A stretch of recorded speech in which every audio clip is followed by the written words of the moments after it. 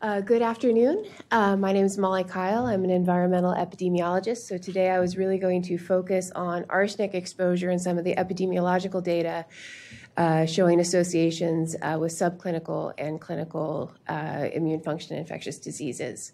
I am uh, honored to be here and very much appreciate the invitation from the organizing committee. I think this is a wonderful and timely workshop. Um, and I also wanted to riff a little bit off of some of the earlier sessions. So I think one of the important things that uh, were brought up was that notion of monitoring and the monitoring systems that we do have to start looking at these um, interactions and uh, also the links to planetary health. So I think uh, arsenic ties into quite a few of these. So the outline of my talk is, um, in case you're not familiar with the most fascinating environmental pollutant out there, I thought I would give a little bit of background on arsenic as an environmental uh, immunotoxicant.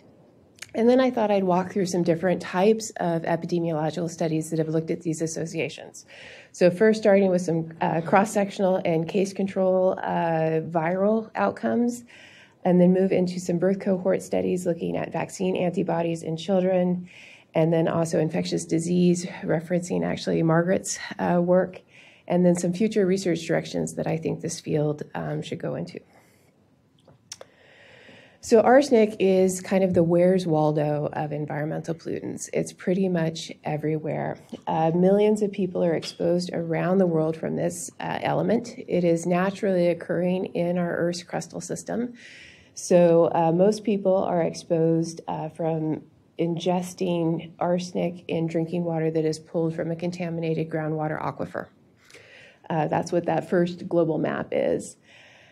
If crops are grown with uh, contaminated groundwater, they too can become contaminated, which is what some of the work that's been done up at the Dartmouth Center showing that arsenic accumulates in rice. And so you have uh, a staple diet for millions of people in the world that also contains low levels of arsenic.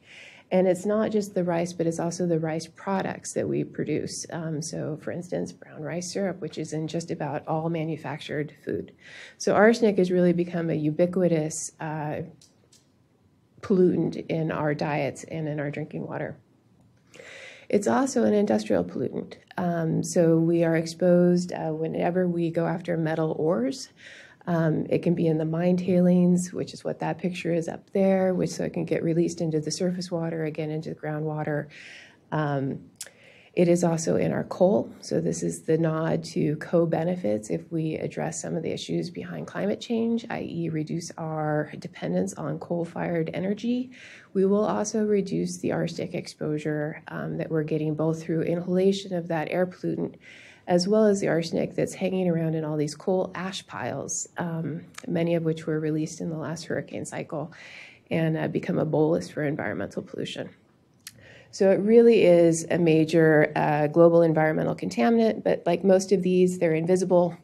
Uh, you can't smell it, taste it, you don't know you're being exposed to it, and so therefore it kind of goes unnoticed.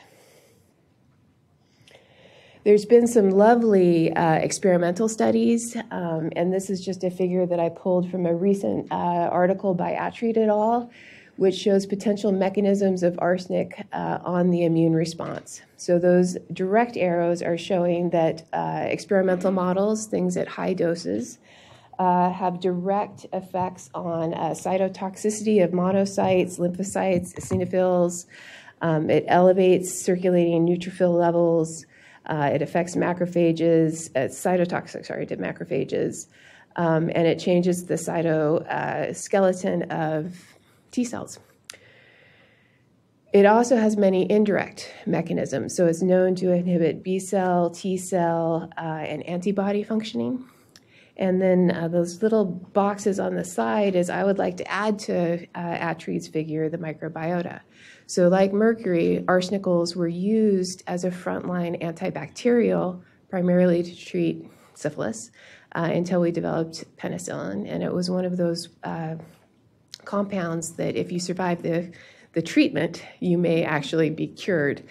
And so a lot of my interest in kind of arsenic's effect on the immune system was kind of going back to some of those original case reports from kind of the 20s, 30s, and 40s, which would show these effects um, that looked an awful like immunological responses in patients that had been given high doses of these organoarsenicals uh, to treat syphilis. Which gets us to some of the first uh, chunk of evidence, which is these viral serological outcomes. So uh, many of our monitoring programs, NHANES, you've mentioned uh, several of us have used it to test some of these hypotheses. For those of you who aren't familiar with this, this is really the US's national monitoring system. It's done by the NHANES, it's looking at nutrition, environmental exposures, um, and many different outcomes. One of the outcomes that periodic, periodically gets measured in NHANES is serological presence of antigens for specific viruses.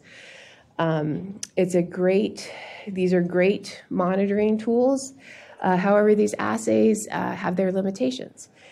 They can be used to assess infection, immunization, as well as seroconversion, but you don't know the timeline of that unless it's a repeated measure study. So NHANES is always cross-sectional. Every year it's a different group of people. So sometimes it's hard to uh, really tease apart whether or not we're looking at a vaccine response or an increased uh, susceptibility to a virus uh, because of something happening to the host defense.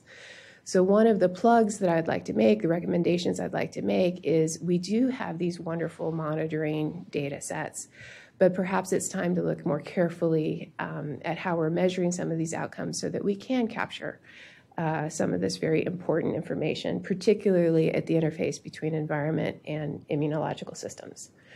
So there's been four studies that have looked at these. Um, I full disclosure, my group did the first three. Um, so these were cross-sectional seroprevalence studies in the U.S. general population. The fourth study, hepatitis E, was done um, by a different group that was looking at a case control seroconversion study uh, in Bangladesh pregnant women. So I thought I would start out with chickenpox because I think we're all probably familiar with this. um, it is a very, very common virus. Uh, in fact, it's considered to be ubiquitous, uh, really, in almost all populations. When you're first exposed to it, um, you're like that little kid. We tend to get it early and we get chickenpox. Um, the immune system then tamps it down, but it continues to circulate in our bodies. And if we then become immune compromised um, or elderly, it does reappear uh, as shingles. And so that's the varicella zoster virus. There were two cycles in NHANES that looked at IgG uh, as a seroprevalence study for VZV. Um, it was in people aged 6 to 49 years of age. And I wanted to also, I put the figures up here mostly to point out that when we are trying to look at these clinical outcomes, they are still quite rare. So we do need huge populations in order to capture cases and controls when we're looking at this from monitoring data instead of designing an analytical study. So there's pros and cons um, with everything. But out of um, nearly three and a half thousand people, we found 98 people who were seronegative, um, and most people did have circulating antibodies. With regards to the environmental exposure, NHANES measures arsenic uh, in urine, and so we looked at the urinary arsenic uh, in multiple ways. And what we saw here, and what you see in these uh, dose response relationships, was that higher arsenic exposure was associated with higher prevalence of that negative VZV uh, serology. So, what does this mean? Um, well, one, it seems to be robust no matter how we looked at it in the data. So the signal was real. It does seem to have perhaps a threshold at the high dose, um, which is interesting when we're trying to think about translational research and which exposures we use. If we were doing this in a toxicological study, there is uh, evidence that we need to be looking at these at these environmentally relevant doses. So one of the big criticisms of toxicology is that high dose exposures this data would suggest that if we looked at it at this high dose, you might you might miss the signal. So one, let's let's make sure that we're using um, environmentally relevant doses. But what this means or seems to indicate is that arsenic exposure is associated with the seroconversion. That being said, um, it could support a hypothesis that arsenic diminishes immunity um, against VZV, i.e., our natural antibody response that we get once we were exposed to it and prevents us from getting it again. That being said, we did introduce a vaccine against VZV in this country in 1996. And so We don't think that that really influenced this population because uh, the children, the, it became a routine vaccination. Those children would only have been, um, if they had been vaccinated, you know, 13 years old. And when we did include, exclude that age group, the signal stayed. But it really gives this idea that perhaps arsenic is associated with this waning um, of natural immunity that we would get um, against one of the most common viruses and infections in the world. Moving to hepatitis B, another very common viral uh, disease that affects about a quarter million people in the US every year. Most of us can uh, survive it, clear it, and just um, live with it. But for some people, it does uh, go into a much more severe illness. And uh, it can even be, it's I'm not sure if it's the number one cause, but it is a cause for liver cancer as well. So, NHANES has been looking and using hepatitis B serology as a surveillance tool for many years. So, this was done in six consecutive cycles, slightly larger age group. And one of the nice things now, though, is that using the different assays, we can group people into people who had a natural infection versus people who had been vaccinated against hepatitis B versus those people that had no serological indication of either a, a infection or a serology. So you can start to create cleaner groups than what we did with the VCV virus. And again, using urinary biomarkers. Again, I want to point out that even though this is quite common, this is still using nearly um, 10,000 people now. We still have a small number of people who had actually been infected what we saw here and what you see in that figure is a multinomial logistic regression model looking at the exposure response, dose response relationship between arsenic exposure and the odds of immune to natural infection or vaccine induced uh, immunity or still being susceptible. And you do see that those people that had the higher arsenic exposures were associated with the higher odds of past hepatitis B infections. So again, this was a very robust signal. It didn't matter how we were measuring the arsenic exposure, didn't matter how we were stratifying on the outcomes. This signal, you know, it shifted a little bit depending on how we controlled for it, but it really did uh, stay consistent. And what's interesting here is the earlier study that we did with hepatitis A, which again, you couldn't tell the difference between whether it was infection or whether it was vaccine, we saw the same exposure response relationship. And then looking at that Heaney et al. paper that was done in the Bangladesh pregnant women, they saw that women who had higher arsenic exposure were more likely by far uh, to seroconvert um, into an HEV status. So, taking together this body of, of epidemiological data really does seem to indicate that arsenic exposure is influencing susceptibility to viral hepatitis. Now, is it doing it by diminishing host defense? Or is it doing it by diminishing vaccine uh, efficacy if the vaccine exists? We don't know at this point. So the mechanism of how this is happening, we don't know, but the pattern of disease that we're seeing is emerging. Moving on to kind of the next group of epidemiological which, uh, data, which is vaccine-related outcomes in children. We've heard a little bit about this before, but vaccination really provides an outstanding way to look at humoral immune response. Um, if you think about it, it is an internationally certified dose that is given to children every, everywhere around the world, the same dose, the same age. Um, and the, you know, the, it, it, it's a completely standardized uh, immune delivery system. And it also provides this clinically relevant biomarker of uh, ultimately humoral immune functioning. There's been four studies so far that have looked at arsenic exposure um, and different vaccine related outcomes. The diphtheria and tetanus work were done uh, in my group in Bangladesh, and I'll be showing you some unpublished data here in a second. There was also a study looking at BCG vaccine, which is uh, tuberculosis, which is an excellent study that shows a similar pattern, as well as a mumps vaccine study. Now, one of the nice things, and, and all of these were done within prospective birth cohorts. So we're now getting to stronger epidemiological study designs uh, where we have the exposure that's measured well before the outcomes. Um, and these are also done in populations that uh, have nearly standardized, you know, nearly 100% uh, vaccination standard, uh, status, um, largely thanks to the Gates Foundation. So this is the results. Uh, it's under review at the moment in environmental research, and it was the work that was done by my doctoral student, Barrett Welch.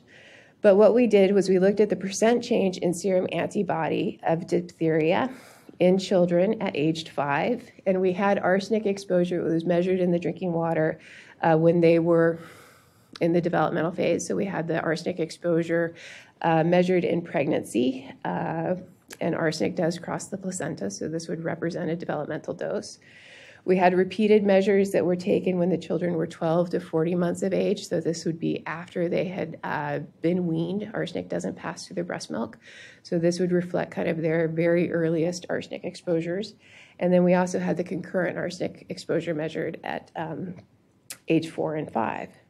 And what you are seeing is that arsenic exposure during pregnancy, so that in utero developmental dose, is really associated with a strong uh, decrease in serum uh, antibody for diphtheria.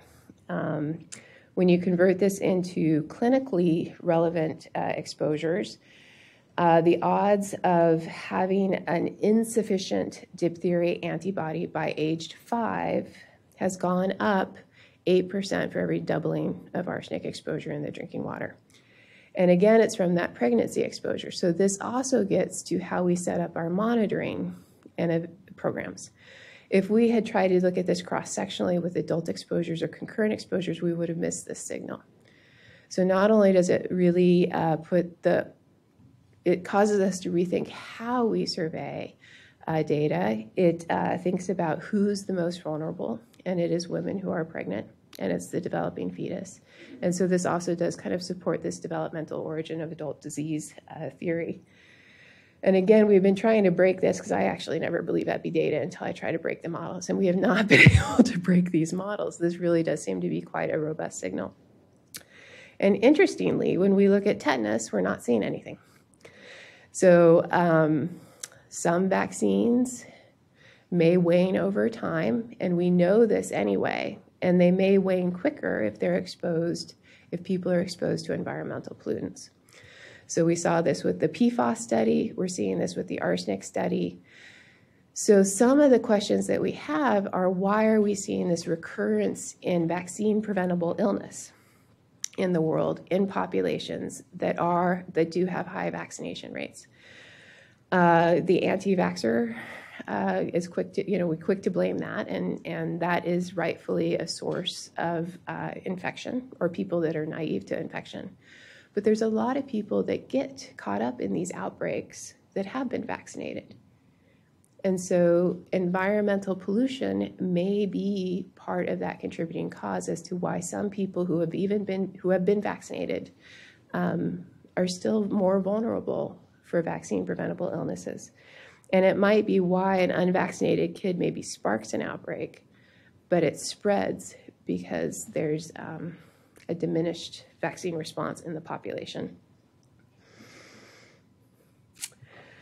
Moving on to other clinical outcomes, uh, looking at, uh, there's been two studies that have looked at clinical uh, infectious disease risk in children. One of them um, was done in the New Hampshire birth cohort by Margaret Karagris's group, and the other one was also done in Bangladesh in the MiniMat study uh, by Vatter's group.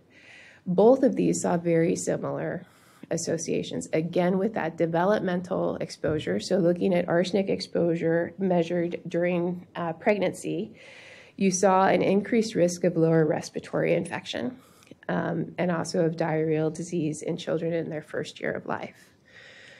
So you could say that those vaccine preventable uh, illnesses, um, we weren't looking at cases of diphtheria, so those were subclinical effects of suppressed immune system or modified immune system. But there are studies that are showing actual clinical effects. And when you think about children, um, well, baby visits, why they go to the hospital and everything else, it's really because of these infectious disease risks.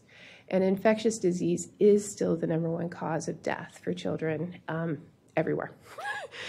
so this is uh, very relevant uh, for human health, global health.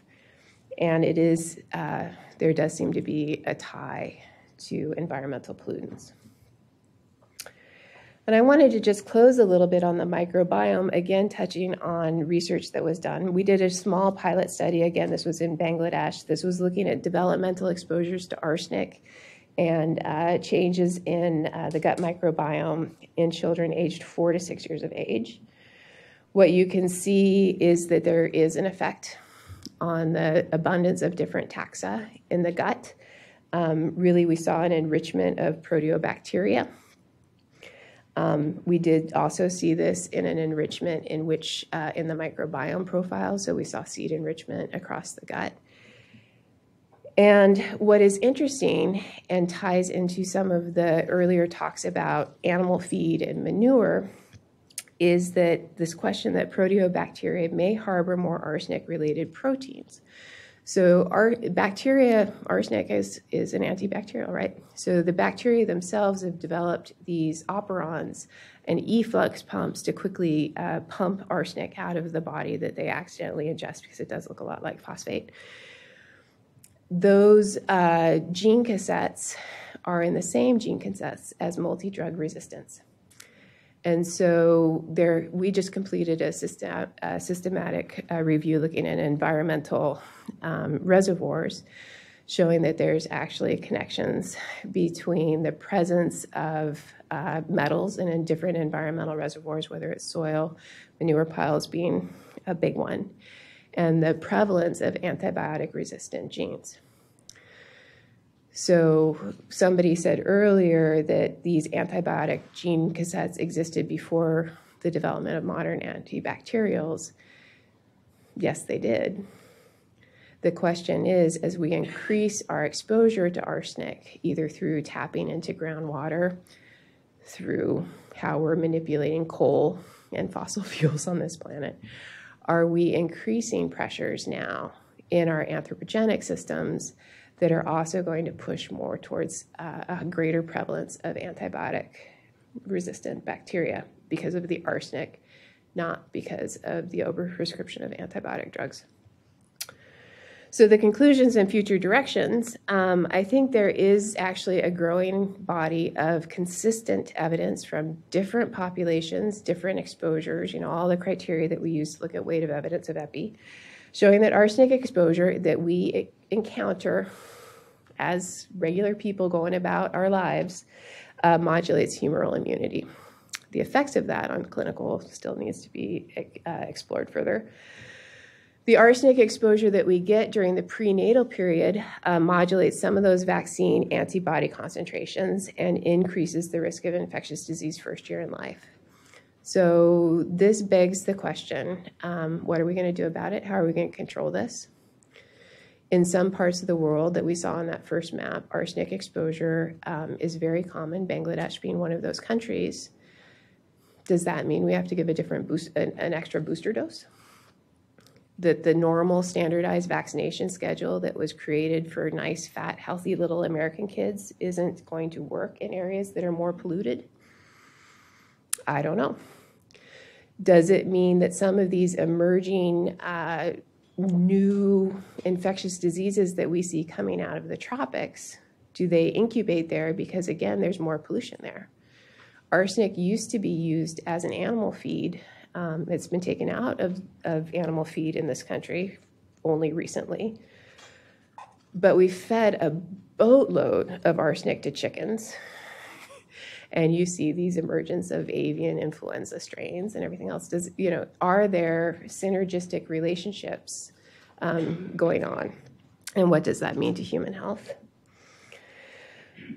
With those viral studies, you know, it does beg the question: Is it chicken or egg? So I think there does need to be more research looking at whether arsenic is really increasing the risk of these infectious diseases through diminished host defense response or is it diminishing the efficacy of the vaccines that we're using against them?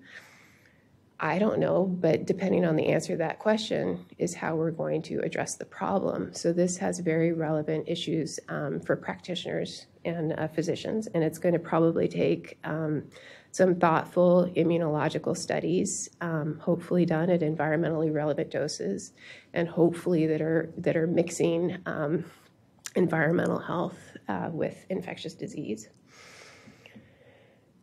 And does arsenic increase the risk of vaccine preventable illnesses? And if so, again, what are we going to do about this?